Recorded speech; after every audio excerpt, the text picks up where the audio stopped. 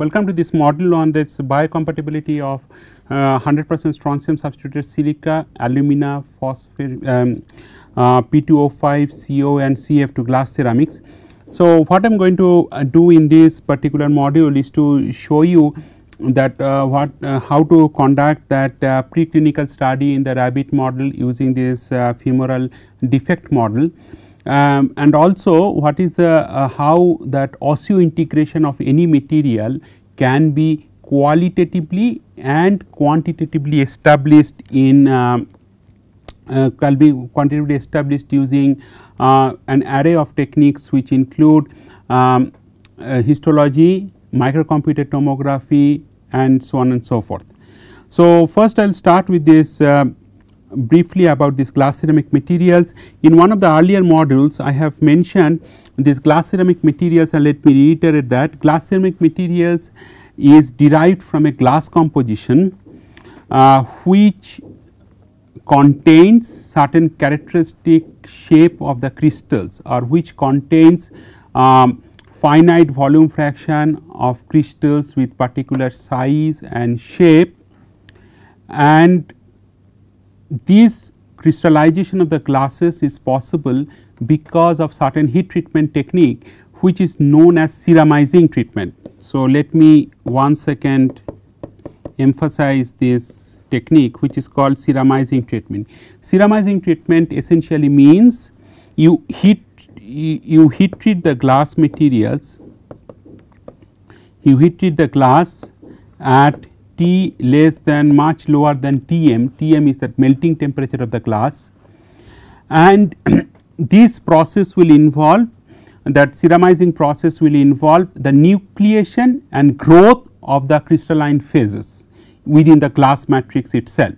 So, any specific composition may not be a glass forming composition, you need to have some composition which is called which should have glass forming ability like silica for example SiO2 has a glass forming ability.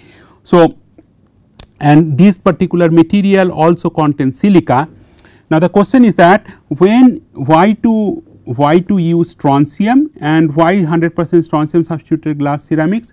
Now, strontium is one of the materials I think in one of the earlier modules I have mentioned that strontium ranelate is one of the commonly used drug. So, it is a most commonly used drug for osteoporosis treatment.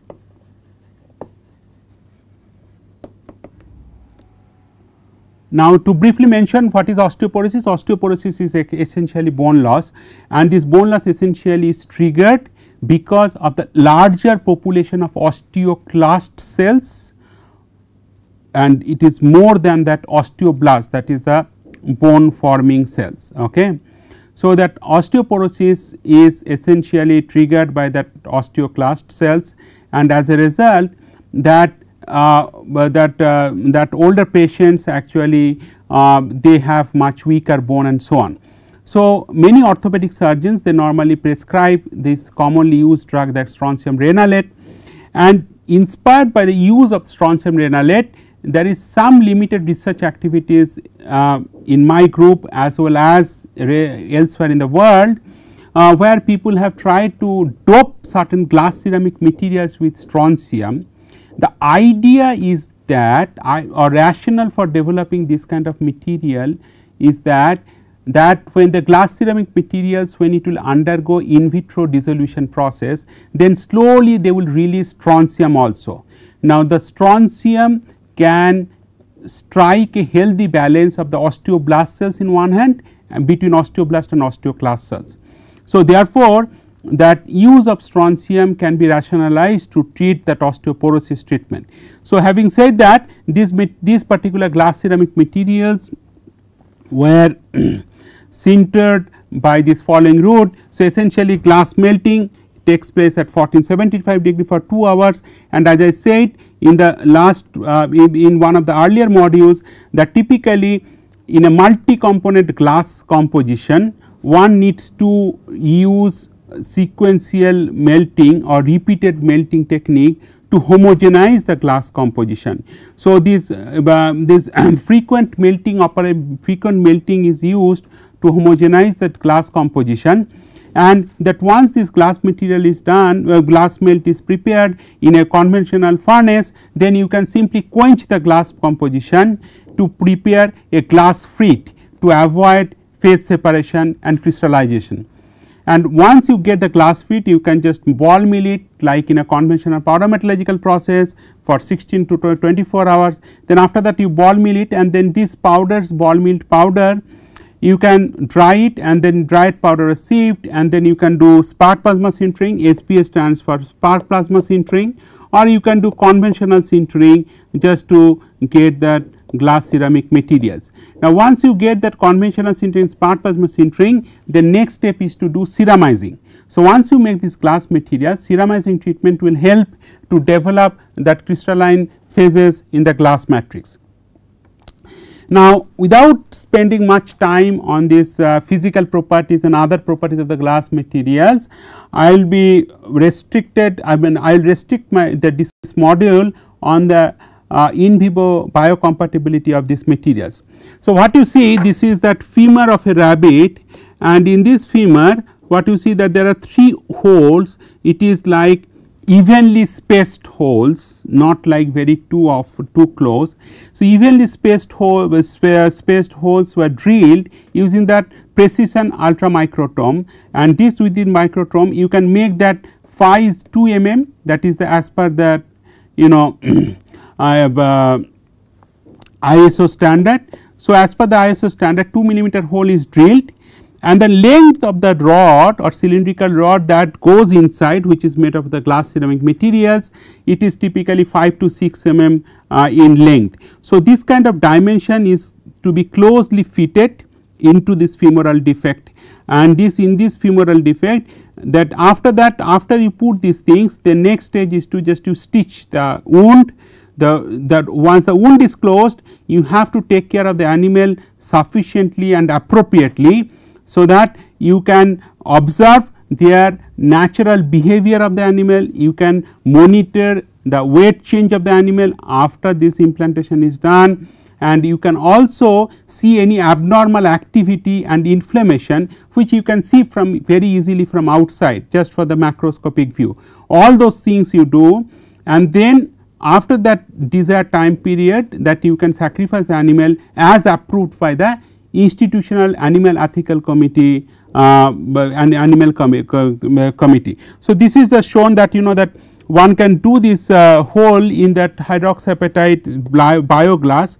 So, this is that and in every animal uh, every animal testing or preclinical experiments I have explained to you before in with sufficient details that you have to use some control implant. The use of the control implant is to make sure that you do this you implant the control uh, control implant in the same animal itself so that you can compare the osseointegration behavior of a material which is already proven to be biocompatible with that of the test implant.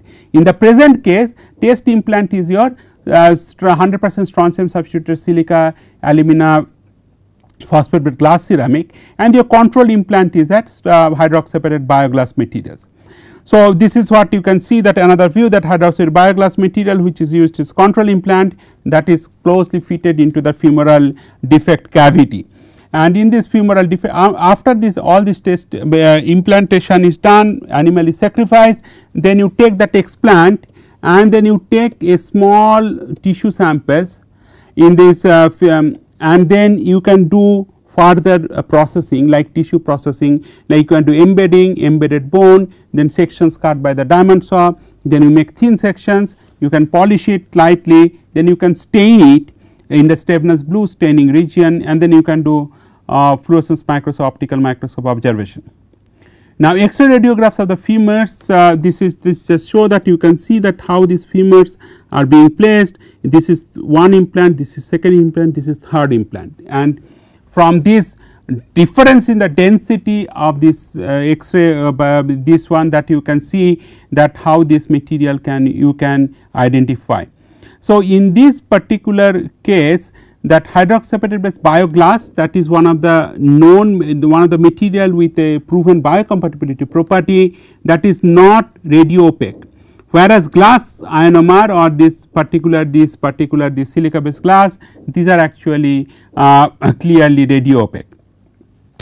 This is the macroscopic image of this uh, explant and then you can see that three implants you can uh, not very clear, but you can somehow able to identify that three implants are there and around that that bone has been regenerated. So, that it is kind of it shows that integration without any histology section it shows some first indication or first um, reflection of the of the osseointegration of these materials. This is more clearly seen because uh, one is a radio opaque and one is not radio opaque you can see these three implants very clearly uh, seen along with this femur and you can see that there is no obvious uh, gap or there is no obvious discontinuity around the implant this is the right limb. The other things I must emphasize here that as far as possible all the control implants and all the test implants are to be implanted in the same animal in the same strain itself. So, like you cannot do like 3 implants in one animal although the species is same and you cannot do in the next animal the 3 other implants simply because the moment you change the animal their health status although they belong to the same species same strain their health status may be different, their age may be different, their sex may be different. So, if all these things change it is not fair on somebody's part to compare the biocompatibility property of the test implant with the control implant. Now, to avoid any extraneous influence which is not related to material itself, it is important for somebody to uh, put the imp, uh, test implant and this control implant in the same animal. This is the histology images. Now, you can see this is how it is how it shows that this is your thin slice and this is your implant here and, and around the implant you can see that all the cellular activity here and you can also see that this implant is not very uh, dense you can see that there is also porosity uh, in that implant. The same is see uh, can be seen in the test implant site newborn. This is like more histology images and these histology images essentially show you that uh, these histology images essentially show you that there is some place here and you can see this is some kind of uh, indication for the osteoblast cells around that implantation uh, around that bone implant interface. So, this hydroxyapatite bioglass composition again you can see that how these uh, cells and then uh, host tissue and then this is your implant part and this is your host tissue part you are just seeing that uh, you are just seeing the uh, cross section image here in that optical microscope. So, here you can see that there is a very continuous implant uh, continuous interface and also see certain cellular features in that host tissue around the implant. Now, one of the uh, one of the additional apart from histology one of the things one can also do is that to see the progression of the bone formation in vivo. So, for that what people do is that uh, uh, the veterinary surgeons can inject certain stain like xylenol orange during uh, in the post implantation period not at the time of sacrifice, but before the point of sacrifice before the time point of sacrifice. The idea is that those stains will go diffuse to that implant and tissue interface and then they will deposit on that implant tissue interface and then when you will do the some fluorescence microscopy you can see it will give you certain contrast which is characteristic of that particular staining agent. In this particular case when you see the 12 weeks post implantation what you see here this is your host bone structure. This is your implant and it is certainly show this Gyllenhaal red stained image. And these Gyllenhaal red stained image essentially show when there is bone formation has been initiated. So, the similar kind of features of the bone formation also has been shown in that hydroxide bioglass, but qualitatively from these two image what you can see here that qualitatively that bone formation perhaps is little bit more here in this case of that our test glass material. this is just a comparison of that control implant and the test implant and what I would like to bring to your attention is that that this is your implant our test implant and around that you get very characteristic region the way I am sketching. So, this characteristic region and this particularly when I make a dotted region this dotted region. So, this dotted region is the area where new bone has formed. Okay. So, this dotted region is characteristic or it indicates this bone formation is very uniform you do not see any discontinuity in that implant and bone interface. The second thing that you observe here that again in a separate set of histology images this is your implant here and this is the region in the different region of the bone formation you just see at a different magnification how this they appear. Okay. So, this is the other things that you see this is your test implant here and this is after 12 weeks and this is the region that histology stained image. Now, this blue region there you can see that collagen as well as some osteoblast cells like bone forming cells their their activity at the bone implant interface. This is a scanning electron microscope image just to show that is in that osteons and so on in that uh, in the host bone structure and this is the host bone structure and your material is somewhere here down this side. This is some more histology images just to show characteristic uh, uh, cellular morphology in that host bone around the implant. One of the things that I have mentioned while uh, discussing the uh, the preclinical study that microcomputer tomography is been now extensively used to uh, quantify the bone regeneration process also to develop better qualitative understanding of the bone formation in 3 dimension. And this is just to show you that this microcomputer tomography you can use directly on the explant. So, after 4 weeks you take the explant and you, you scan it in the microCT, this is what you get in the 3D image. So, what you get in the 3D image you remember that we you started with a cylindrical uh, cross section sample or cylindrical samples like I told you that 2 millimeter diameter and this is that 1 millimeter in uh, micron bar here or length scale here. So, this is your 2 millimeter diameter and this is your around 4, 4 to 5 millimeter in length. So, whether the implant A that whether implant can retain the shape at different time point in the post implantation B if the shape is not retained whether there is any shape distortion or whether there is any sign of the degradation of the implant in vivo. So, if the implant changes its size and shape that will essentially indicate the degradation of the material in vivo. Okay. And also you one can do certain analysis to obtain bone volume that is the BV divided by total volume of this of this implant. Okay. So, bone volume by total volume that ratio one can measure or determine from these microCT values. Now, higher the bone volume to total volume or if the bone volume to total volume is more than 0.95 certainly that implant is very effective to regenerate the bone. If the bone volume to total volume is less then what will happen? That implant is not that effective at that time point for the bone regeneration purpose. Now, let us look at this data a little bit carefully. So, this is your uh, HA bioglass this side and this side is your strontium substituted glass ceramic materials. Now, what you see that after 4 weeks and after 12 weeks. So, this total this, this top panel is 4 weeks bottom panel is 12 weeks uh, microCT results. Now, what you see here that if you compare this to this only with the control control implant. So, after 4 weeks is 0.77 bone volume to total volume after 12 weeks it is 0.80. Compared to that in that strontium substituted materials at that initial period of 4 weeks it is 0.62 and bone volume to total volume it is 0.81.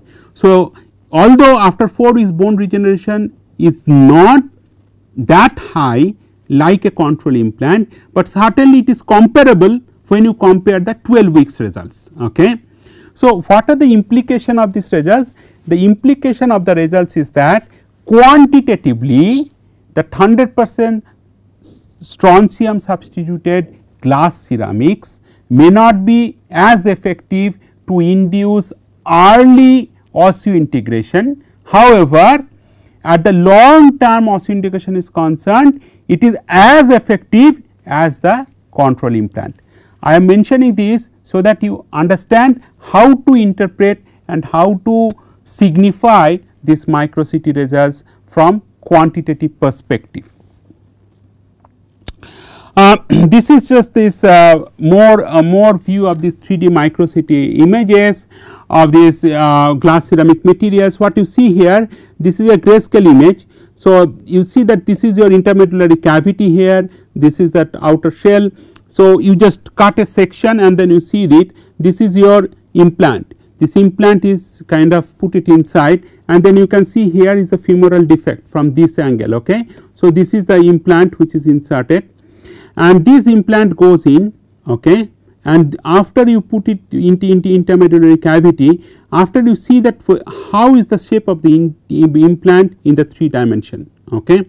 and this is the 2D slices of this material and from this you can see that 2D slices that there is certain bone mineralization density what we call BMD. So, what is bone mineralization density? Bone mineralization density quantitatively you quantitatively will tell you that what is the mineral content in that host bone around this material or what is the mineral content in the new bone. Now, why bone mineralization density is important? Because when let me go back to some histology image just to show you. Now, you have this implant okay, and this is your host bone structure. Host bone means which was kind of part of the osseous structure of the experimental animal that is your rabbit. Now, this region you can see this dotted region, this region is the region where there is a neobone formation. Okay.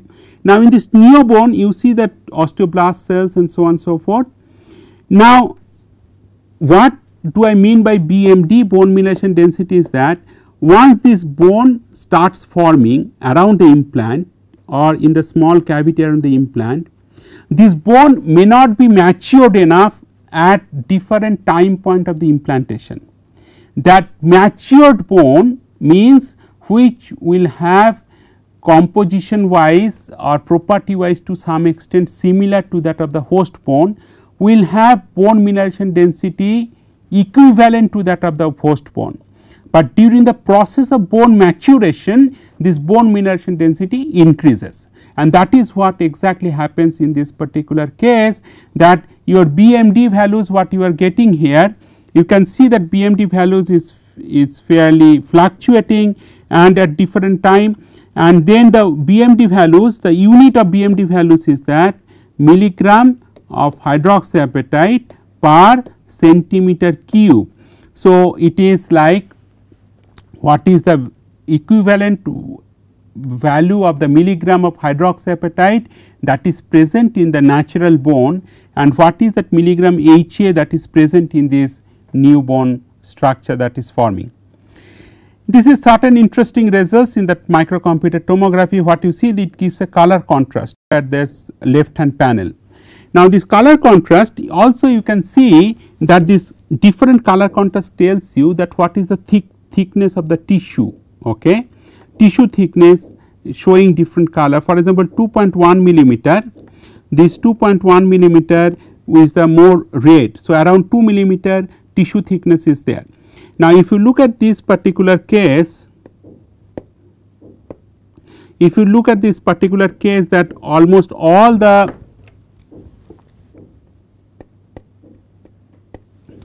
almost all the uh, implant that is the cylindrical uh, shape that is, is covered with these thick tissues around it and this thick tissue typically have a thickness somewhere around 2 millimeter. The same is however not true for the control implant and this is after 26 weeks. And you see that all kinds of different kind of uh, green, mostly green uh, green color contrast you can see around the implant. Essentially meaning that tissue thickness or bone tissue thickness on this control implant is not certainly towards the red region, but it is less than that. So, from the tissue thickness also quantitatively you can understand that what is the quantitative tissue or bone regeneration around the uh, implant.